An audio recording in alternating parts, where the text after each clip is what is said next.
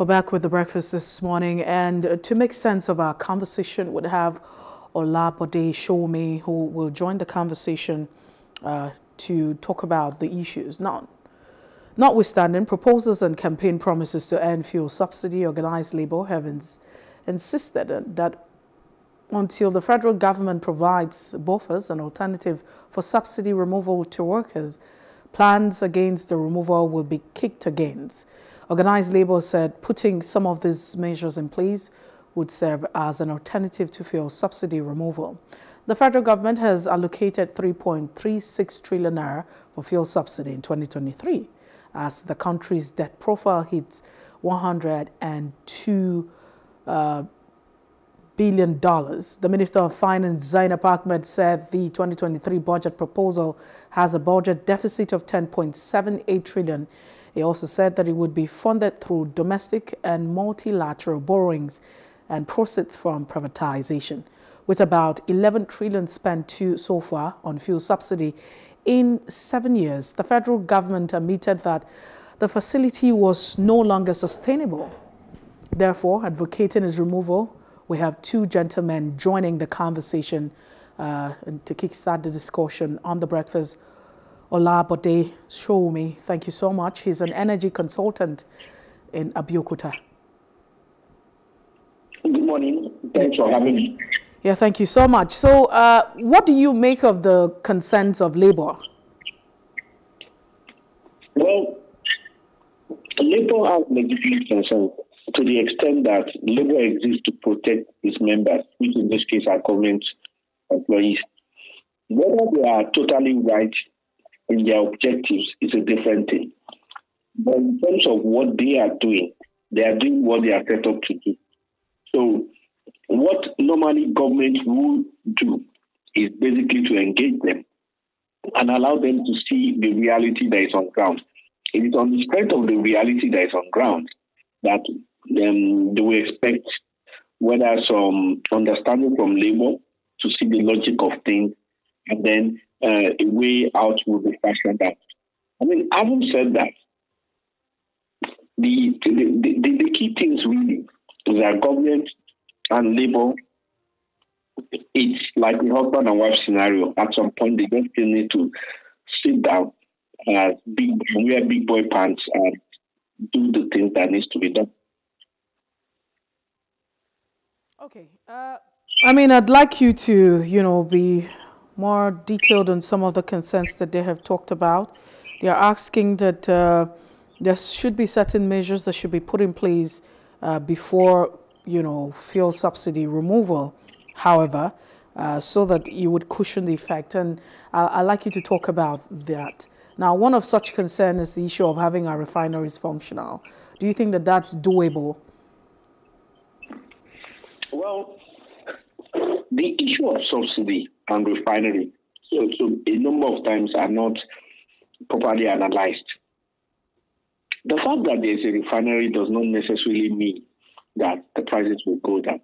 Important to note that. Um, however, the way um, subsidy things are calculated is why people are, I mean, are looking at that. Because refinery is still going to buy crude. The crude is not going to come to them for free and they are going to buy it at probably the same price. The second part of the refinery is that the refinery is actually at liberty to sell crude abroad. So if the naira should fall again and it does not become competitive for them, they may want to sell it abroad. So there are certain realities, and it's a private company. So there are certain realities that needs to be kept in perspective when we talk about the refinery coming in. As per labor demanding that certain things be in place before the fuel subsidy happens, those are also legitimate concerns because you cannot leave um, the economy to the raw forces of uh, demand and supply. The economy can collapse. The society, as we know, it can collapse. So there must be certain things that must be in place. So having, with the government having determined that um, there's a need for increase, which is basically the idea of the fuel subsidy removal. There must be balance in it. But what is more important is not so much has been the increase or the uh, famed fuel subsidy removal. We need to realize that at least about four or five times in the past, government has claimed to have removed fuel subsidy, only to announce a few months down the line that there was under recovery or something was not in place. So when fuel subsidy is going to be fully removed, it is important that the whole thing is transparent. It is also important that the parameters for determining this uh, uh, this removal and the figures there are clear to everyone. Because in the absence of that, we'll just be running around circle and uh, fuel subsidy removal will just be another name for fuel so, So, are you saying that uh, it, it's not, uh, you know, important that we have our refineries working, that we are not still talking about subsidy removal and still having to, you know, import uh, the refined crude into the country? That's that's very far from what I'm saying. What I'm saying is that there is too much expectation on the refinery. Why? Simply put, the refinery is not going to be magic. So the refinery is going to also spend money to refine the crude. The main difference between the crude, I mean the finished product that is coming from the refinery and the one that you are buying from outside is the transportation it takes to bring it to Nigeria. So the refinery is going to operate like any other refinery. The refinery is also going to buy crude. Now, if this refinery buys crude and they refine it, and for any reason the the crude, I mean their cost of production, they are not able to meet it, just like you have in the power sector. They may be looking at because it's a private company, they may be looking at selling abroad, and then nobody will be really legitimately able to stop them. Or they, we could have a situation where there is uncertainty and crisis. These are facts so it is important that, in as much as we have these expectations to coming from the refinery, which is good, we also need to also realize that it is not a government company. It is a government agency that is set out for development.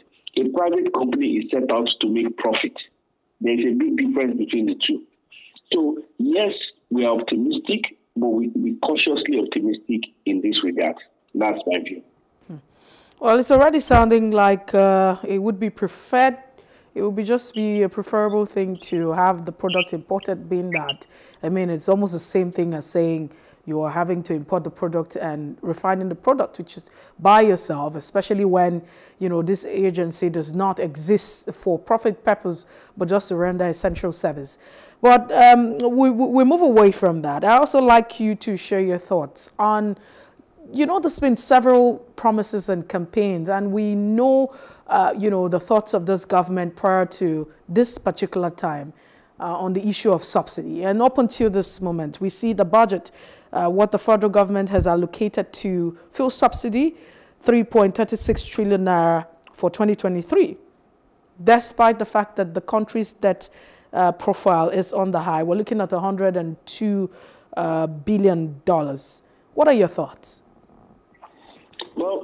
I, I believe that there was a committee within the House of Reps that investigated the subsidy. I think it is important for members of the media to try and get the report of that committee. I think in there there is some analysis on the cost of the subsidy and how the subsidy comes about. Subsidy is not the enemy. I think it is the nature of this subsidy that makes it an issue it is not so much about the amount of subsidy. It, what is the issue is that the amount of that subsidy that is not going to the uh, subsidy effectively, that is what we need to look into. And that's a responsibility for all of us. The other side of it is that we can ensure 100% deregulation where there is import, but for it to be balanced, has to be import for everybody and not limited to a few people. But that also has its own issues. So at the end of the day, it is our own responsibility. And when I say our, I'm talking about every Nigerian, particularly the media, to understand in figures in Naira and Kobo uh. Because for now, when we talk subsidy, it is such an exoteric term. People don't really understand the basics. So those are the things that we need to look. We need to understand the figures. We need to understand how NFP gets their figures. We need to understand how the Ministry of Finance approves those figures. And on the basis of that, we can now actually be able to discuss this subsidy in a more intelligent, I mean, in more intelligent parameters. Mm, when, when you mean more intelligent parameters, what do you mean? Because over time, there's been argumented, uh, you know, who is the federal government subsidizing for? Some people are in support of the removal of subsidy, and one is still questioning why subsidy hasn't been removed. Even despite all of the campaigns, prior to 2023, the government has said, hey, we're going to take out subsidy, and we're here now. So uh, what aspect are you talking about? Uh, you know, what point are we saying? What intelligence are we talking about? Who are we subsidizing for? So, so let me ask certain rhetoric questions. How much is our subsidy? I mean, you don't have to answer that. How much of that, in terms of the amount of subsidy, is actual cash? How much of it goes no, into let's, transportation? Let's not talk about let's not talk about the cash now. Let's. No, I, I like you, know, you know why that is so, important. So I'm asking, who are we subsidizing for? When we talk about subsidy, there was subsidizing. Who exactly benefits from subsidy? You benefit from subsidy as long How as do I benefit? Uh, do I own a car? I mean, so you begin to look at how many persons own cars in Nigeria. Um, madam, whether you own a car or not, you enter a car. Even if it is Uber, even if it is um, the bus, as long as you enter a car, you benefit from subsidy. So the idea that subsidy belongs to a certain class is just simply because people don't understand it. And that is why I talk about a more intelligent deep dive into what subsidy is. Subsidy is being discussed as an exoteric term because when you talk about subsidy, people don't really understand what it is. And until we understand the fundamentals, we will still continue to go into the circles. You cannot become a medical doctor if you don't do physics and chemistry. If we don't understand these fundamentals, these naira and figures things, will not really understand the subsidy. It is understanding the fundamentals that will allow a more intelligent discussion on the subsidy issue. And that is the point I'm trying to make.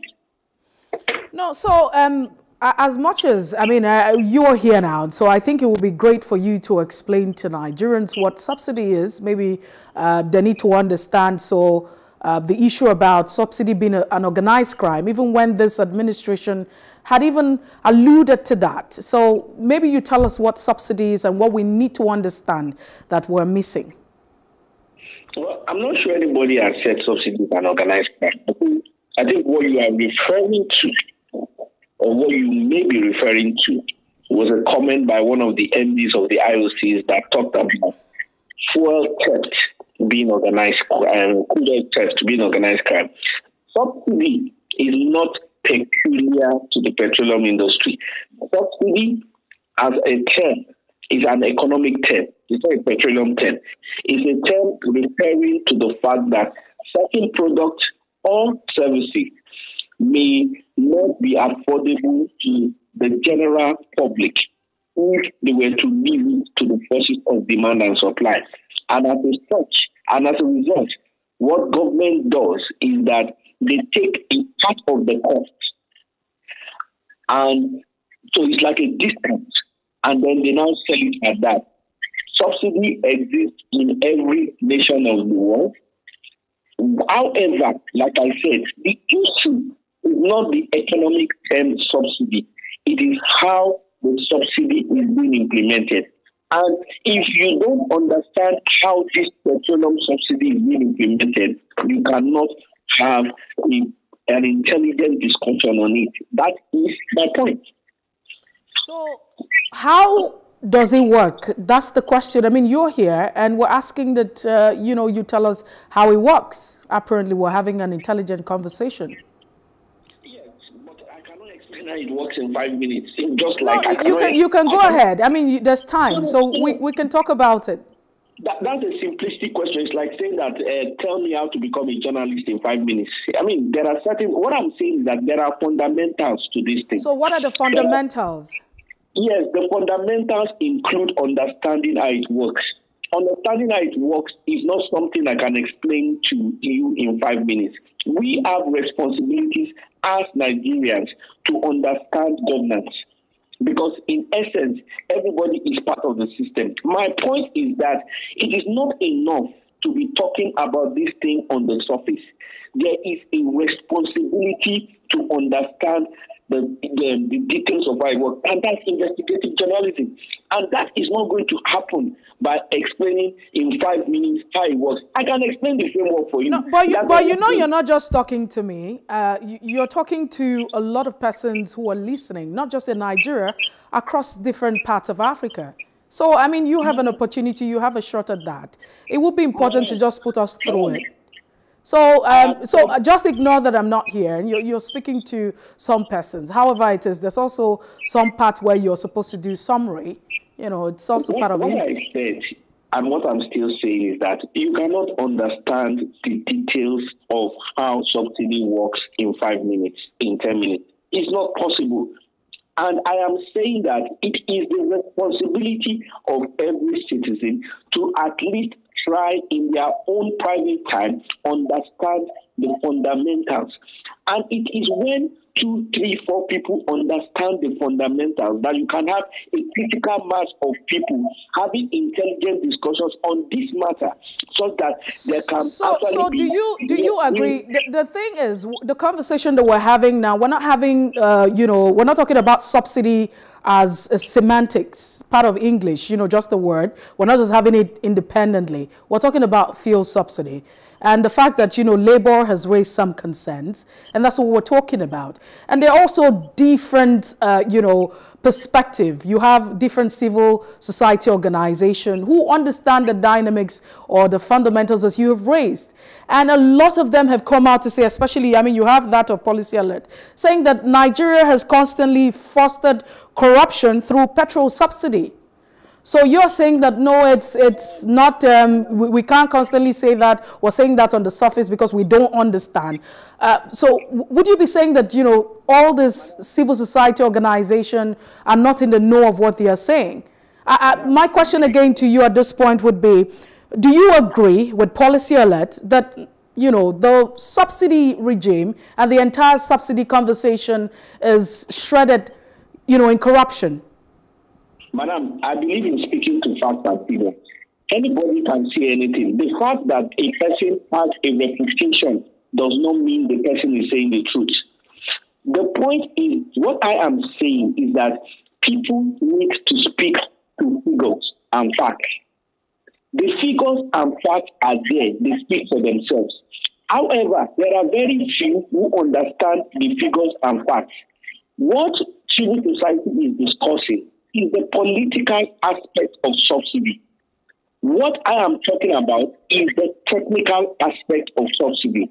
And without understanding the technical aspect, you will not be able to have an intelligent discussion on the political aspect. Then it will just be a matter of politics. Do I feel like? Do I don't feel like? Do I want it? do I not want it? And that will not be progress. I have asked you, and this would be, you know, another time I'm asking that Maybe you yes. can give us maybe just the line, a sentence. It's not a problem if it's in five minutes. You don't have to. But let's understand what the technical aspect of subsidy is that Nigerians don't understand. Okay, so let me, how is the subsidy calculated? You have to look at the cost of crude. That is a public figure. You have to look at the cost of transportation to the refinery. That's also public. You have to look at the cost the refinery um, refines um, petroleum. That's the public cost as well. The second, transportation, and that when it arrives on the ship. There's um, customs duties, there's port duties, and all that. Anyway, you have all of these things, and they come to a certain cost. What NNPC is saying is that that cost comes to a certain amount, maybe 800 naira per liter, whatever. And they are saying that they are currently selling it at 150. and that they want to and they want to remove that 500 naira that they are currently bearing.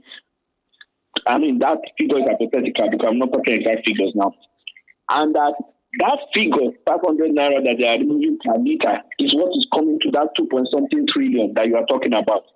What I am saying is that it is the responsibility of every Nigerian to actually understand if these figures that they are quoting for us is authentic. It is not enough to just say that there is crime. That's an accusation. You have to understand and be able to point to the areas where there are issues. And if you don't understand and cannot point to the areas where there are issues, it's just an accusation. So what I'm saying is that for us to have intelligent discussions on this matter, we need to understand and be sure of these figures. Does that make sense? So the consent of Labour, I bring it to you again. Uh, Labour has asked the federal government to stop fuel subsidy and its importation. Do you think that that's not intelligent enough? That has nothing to do with what I said. Labour is coming to a conclusion based on their own interest. Is that the best interest for the industry? It's a different matter. What Labour is doing is what they should be doing. But my own job is not to support anybody. My job as an analyst is to say the things as they are. The media has a responsibility. Labour has a responsibility. Government has a responsibility. Let everybody do their job. So, in other words, uh, you have nothing to say as to the consent of labor. You don't think it's that okay for us to stop? Own, that is, no, I, I, I, want to understand. No, the thing is, I, I, really want to understand. You are an analyst, and, and we're here to share your thoughts. I mean, yes. we, we know that, you know, with fuel and uh, you know it's products we have to import because our refineries are not functional. And we've also had the minister of finance saying uh, that over time we have had to borrow you know to import because we don't really have you know funds. And now labor has a concern. And labor saying we can't continue this way you know make the refineries functional. Let's stop the entire process whatever it is. So I'm asking you, that do you think that the concerns that Labour have asked or have raised, asking the government, you know, to stop the importation of petrol and also, you know, the removal of subsidy, do you think it's, it's, it's rational? Whether or not is what they should be doing. That's not the point. The question is, is it rational? why would anybody say it's not rational? There's a difference between what is rational and what is right, or what is rational and what is wrong what is wrong can be rational, what is right can also be rational. So the issue, I believe what you are trying to say is that whether it is the right thing. And I think that what I'm saying, well, I think you are looking at this thing in terms of black and white. There are multifactorial issues and multifacial issues that are involved here. And I keep maintaining that what Labour is doing and saying in terms of their own objective is right. Labour has a purpose, and their purpose as Labour is different from the purpose of government and NNPC as an organization. Labour cannot be there to protect the interests of the NNPC. That is not their job. Labour is there to protect the interests of their own organization, and they will do that. The NNPC is there to protect the interests of the industry and what they do, and they will do that. So I don't understand what exactly you want me to say. What I am saying is that everybody should do their job so that society can function. Mm, labor is not just, you know, representing the interests of labor. They are representing the interests of the people. And that's why they're called that because it's, it's not just that. But we need to go away. I'm being prompted that we have no time. Thank you so much, Olabode Sowunmi, uh, for uh, being part of the show this morning. Yeah, you're welcome. Thank you very much. All right, then Olabode Sowunmi, energy consultant uh, all the way. He joined us from Abeokuta. Many thanks.